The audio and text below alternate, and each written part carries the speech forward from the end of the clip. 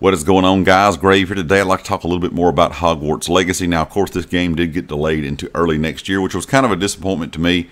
I was really looking forward to playing this. But of course, you know, if it is something that, you know, there was issues, whatever the case may be, a delay is probably for the betterment of the game. But I'm really just looking forward and very curious to how this game is going to play out. Will it be as good as kind of the hype's building up around it kind of to be as of late? or will it be a disappointment? Who knows? We'll have to wait and see. But if it is a really good RPG set in the Harry Potter world, I don't think if you're a Harry Potter fan or an RPG fan, I don't think you could ask for anything more, really. So we're going to kind of have to wait and see. But we've got some new trailers and some new info. Uh, I know over the last couple weeks, of course, you guys are seeing the new trailer in the background. Uh, there's also been some, you know, kind of sh- showing or a showcase, I guess, of all the different common rooms and things, depending on you know you, what you're going to be in, like Hufflepuff, you know Gryffindor, and so on.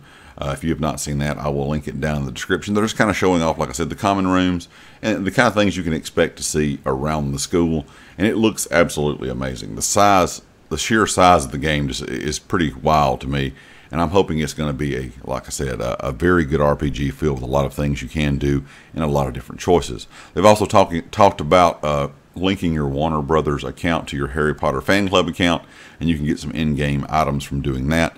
And they've also discussed kind of what the trailer was about. The option, you know, kind of to be good or evil, to, you know, practice the dark arts or not. Do you want to be, you know, kind of someone that's going to school to turn out to be, you know, kind of good in the end, like you know you would have seen in the Harry Potter books, or you, would you rather turn out to be someone that likes to practice the dark arts?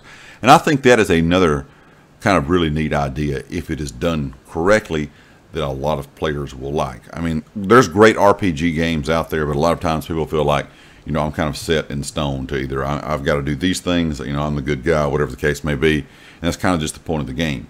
But a really good RPG game that gives you tons of options to whether you want to be kind of good or bad, I think is something that is very enjoyable on a whole, whole different level for a lot of gamers. So leave me a comment and let me know what you think about the game so far. Do you think it's going to be something that you're interested in? Are you glad they delayed it? Or are you kind of worried that, you know, like a lot of people are kind of speculation out there, will this actually be really good or is it just getting a lot of hype because it's Harry Potter and it's going to be a disappointment in the end?